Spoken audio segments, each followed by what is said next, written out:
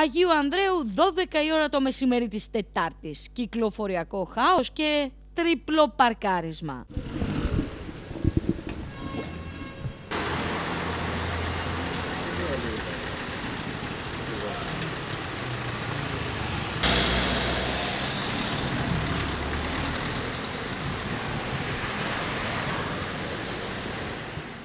Απελπιστική, απογοητευτική είναι.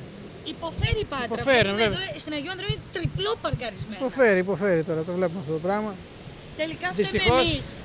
Δεν φταίμε εμείς. Δεν φταίμε εμείς. Τι φταίει; Η πολιτεία φταίει. Δεν πρέπει να βρεθεί μια λύση. Αλλά δεν έχουμε που να κάνουμε τη δουλειά μας. Σε χώρο φορτοεκφόρτωσης δεν βρίσκεται Όχι, ποτέ. όχι, όχι, όχι. Ούτε πίσω εδώ που έχει, πουθενά ποτέ. Χαμός. Αυτά τα πείτε στον Πελεκίδη. Χαμός.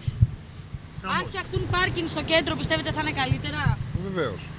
Βεβαίως. Ο οδηγός γιοταχή κάνει μανούβρες και προσπαθεί να απεγκλωβιστεί από άλλον οδηγό που έχει διπλοπαρκάρει το όχημά του.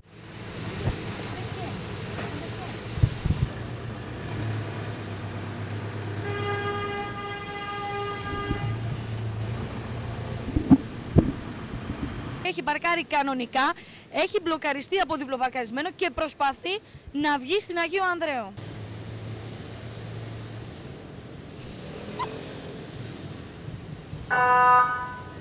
Αυτό συμβαίνει καθημερινά στην Πάτρα, κυρίως στους κεντρικούς δρόμους. Επικρατεί κυκλοφοριακό κομφούζιο, διπλό παρκάρισμα παντού και ουσιαστικά πλήρης αναρχία. Εντάξει, είναι δύσκολο. Δεν μπορούμε να κυκλοφορήσουμε, δεν μπορούμε να ξεφορτώσουμε.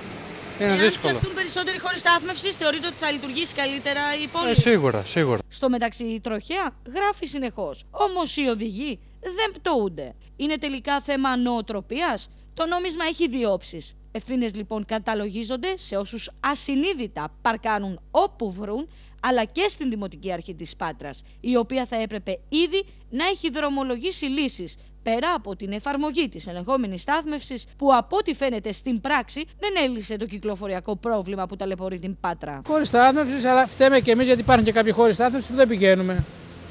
Άρα τελικά; Φταίνε και οι μεν και οι δε. Λίγο Και εμεί όλοι από λίγο. Χάλια, μια ζωή. Τι να βλέπουμε. Δεν τα βλέπετε εσείς καλύτερα από εμάς. λύση υπάρχει. Δεν νομίζω. Ούτε από το Δήμο. Τόσα κάποιος χρόνια τίποτα. Αδιαφορία από όλους. Φταίμε κι εμείς. Μάλλον.